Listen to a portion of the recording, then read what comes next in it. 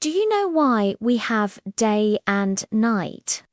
Have you ever wondered why sometimes we see the bright sun in the sky and other times we see the moon and stars?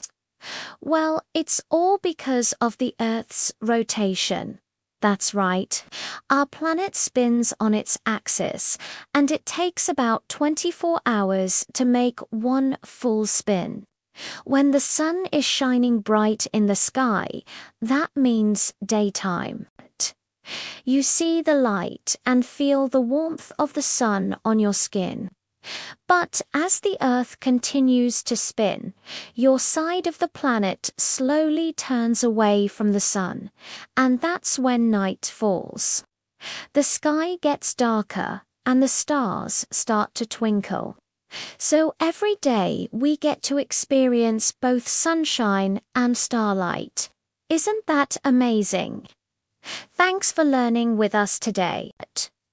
Don't forget to like and subscribe to Kids Fun Time for more fun facts and adventures. See you next time.